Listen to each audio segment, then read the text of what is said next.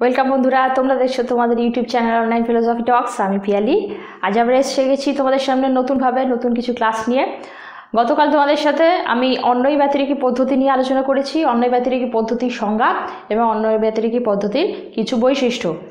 এবং কিছু উদাহরণ তোমাদের আমি দিয়েছিলাম।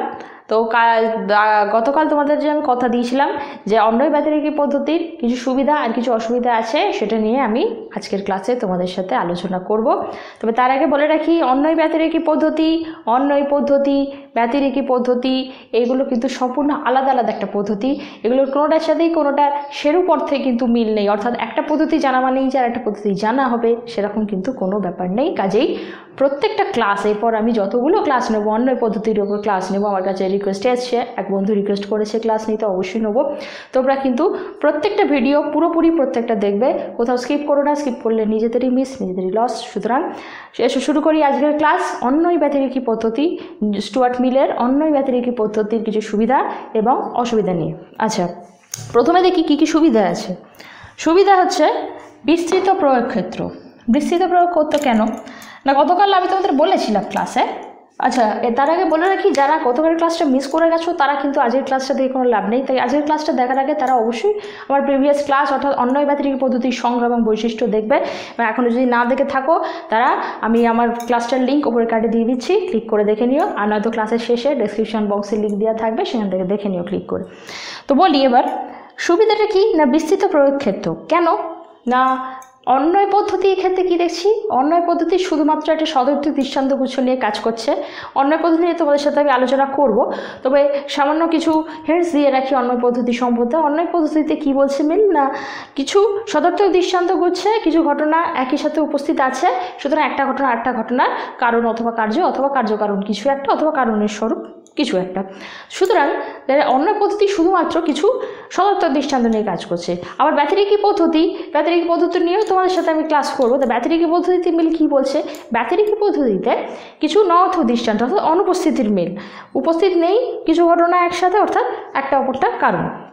এইভাবে দুটো, একটা সদর্থক, একটা নর্থক। এইভাবে কাজ এগিয়ে চলছে। কিছু কিন্তু অন্যই ব্যতিরিকী পদ্ধতিতে সদর্থক এবং নমর্থক, উভয় প্রকার দৃষ্টান্তগুচ্ছ থাকছে।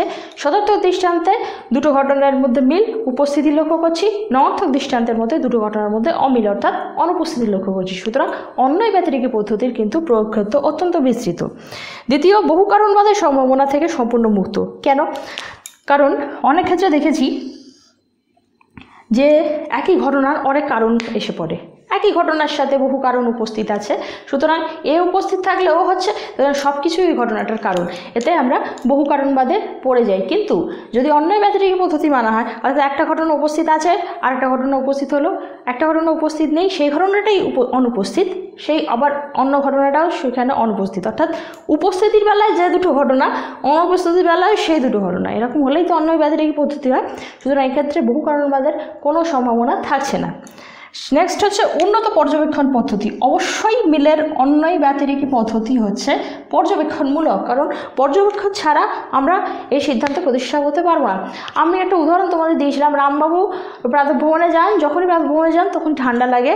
এবং যখন প্রাতভ্রমণে যান না, ঠান্ডা লাগে না। সুতরাং প্রাতঃভ্রমণে যাওয়াটাই রামবাবুর ঠান্ডা লাগার কারণ বলে আমরা সিদ্ধান্ত নিচ্ছি। তো এটা আমরা জাস্ট পর্যবেক্ষণের উপরেই কিন্তু সিদ্ধান্তটা নিচ্ছি। সুতরাং এর ক্ষেত্রে কিন্তু উন্নত পর্যবেক্ষণের দরকার। তাই এটা উন্নত পর্যবেক্ষণমূলক পদ্ধতি। আমাদের পর্যবেক্ষণটা এতে অনেক উন্নত মানের হয়। অন্যয় পদ্ধতির কিছু অসম্পূর্ণ।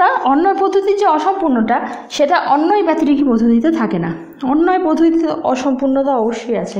কারণ অন্যয় পদ্ধতি একটা আবিষ্কারের পদ্ধতি কোনো মাত্রই প্রমাণের পদ্ধতি না। অন্য পদ্ধতি হ্যাঁ একটা ঘটনা আমরা আবিষ্কার করলাম, একটা ঘটনার উপস্থিতিতে একটা ঘটনা উপস্থিত থাকছে, সুতরাং তাদের মধ্যে কার্যকারণের সম্পর্ক আছে। এটা হচ্ছে অন্যই পদ্ধতি। তাহলে অন্য পদ্ধতিতে কিন্তু শুধুমাত্র একটা আবিষ্কারের পদ্ধতি, সেটা প্রমাণের পদ্ধতি নয়। কিন্তু অন্য ব্যতিরেকী পদ্ধতি, যেহেতু সদর্থক নমর্থক, উভয় দৃষ্টান্ত নিয়েই কাজ করে, যেহেতু অন্য ব্যতিরেকী পদ্ধতি হচ্ছে কি বলব? মানে অন্য ব্যতিরিকী পদ্ধতিতে কোনো অসম্পূর্ণতা থাকছে না। অন্য পদ্ধতির অসম্পূর্ণতা কিন্তু অন্য ব্যতিরিকী পদ্ধতি থাকছে না। অন্য ব্যতিরিকী পদ্ধতি এক ধারে আবিষ্কারের পদ্ধতি, এক ধারে প্রমাণের পদ্ধতি, এক ধারে পর্যবেক্ষণমূলক, এক ধারে পরীক্ষণমূলক। নেক্সট কি? লাস্টেরটা যে সুবিধা, সেটা হচ্ছে ব্যতিরেকী পদ্ধতির বিকল্প হিসেবে কাজ করে মিলের অন্যই ব্যতিরেকী পদ্ধতি। কি করে? ব্যতিরেকি পদ্ধতিতে কি দেখছি আমরা? ব্যতিরেকি পদ্ধতিতে দেখছি না, দুটো ঘটনার মধ্যে অমিল। দুটো, একটা ঘটনা নেই আর একটা ঘটনা নেই, আবার একটা স্থানে সেই ঘটনা নেই দুটো ঘটনাই নেই। সুতরাং নঙর্থক দৃষ্টান্ত নঙর্থক দৃষ্টান্ত নিয়েই কাজ করে এই ব্যতিরেকি পদ্ধতি। দেখছি দুটো ঘটনার অনুপস্থিতি। সুতরাং আমরা ব্যতিরেকি পদ্ধতি ক্ষেত্রে শুধুমাত্র ন অর্থ দৃষ্টান্তটাই দেখছি। ব্যতিরেক, অর্থাৎ একটাকে ব্যতি রেখে আর একটা সম্ভব না ব্যতিরেক। কিন্তু এই অন্যায় পদ্ধতি কিন্তু ব্যতিরেকি পদ্ধতির বিকল্প না।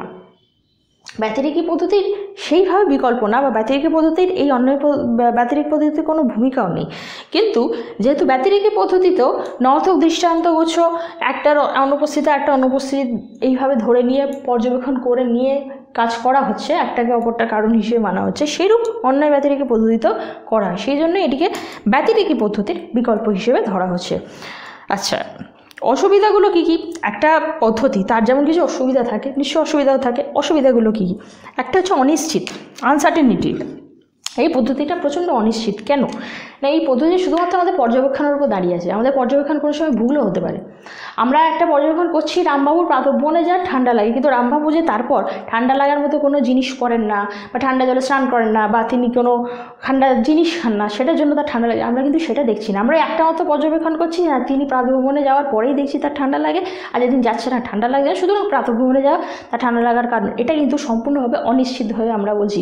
এর থেকে যে সিদ্ধান্তটা পাচ্ছি, সেটা সম্ভাব্য, সেটা কখনোই সুনিশ্চিত নয়। সুতরাং এই পদ্ধতি অনিশ্চিততার দোষে দুষ্ট। এর অসুবিধা একটাই পদ্ধতি অনিশ্চিত। এতে উপযুক্ত পর্যবেক্ষণের অভাব। অবশ্যই তাই, কারণ আমরা কখনোই আমাদের পর্যবেক্ষণকে সঠিক সবসময় বলতে পারি না। আমরা যা দেখছি, তা অনেক সময় আমাদের ভুল হতে পারে। তাই সবসময় আমাদের পর্যবেক্ষণের ভিত্তি করে সিদ্ধান্ত টানলে তা কিন্তু সত্য নাও হতে পারে। সুতরাং অন্য ব্যতিরেকি পদ্ধতি, যেহেতু পর্যবেক্ষণমূলক পদ্ধতি, এক্ষেত্রে উন্নত পর্যবেক্ষণের অভাব পরিলক্ষিত হয়। এক্ষেত্রে অনেক সময় ধৈর্যচ্যুতির সম্ভাবনা থাকে। কেন? না এক্ষেত্রে দুটো দৃষ্টান্ত নিয়ে কাজ করা হয়। সবসময় দেখতে হয় একটা যখন সদর্থক দৃশ্য একটা ব্যাপার, একটা বিশেষ ব্যাপার, সেখানে দুটো ঘটনা একসঙ্গে উপস্থিত আছে। এটাও যেমন দেখতে হয় তেমন সেই বিশেষ ব্যাপারটা যখন আবার ঘটছে, তখন সেই দুটো বিশেষ ঘটনা অনুপস্থিতিও আমাদের আবার পরিলক্ষিত হয়। এইভাবে বারবার পর্যবেক্ষণের মাধ্যমে যদি একটা পদ্ধতিকে প্রতিস্থাপন করতে হয়, সেক্ষেত্রে কিন্তু ধৈর্য যদি সম্ভাবনা থাকে।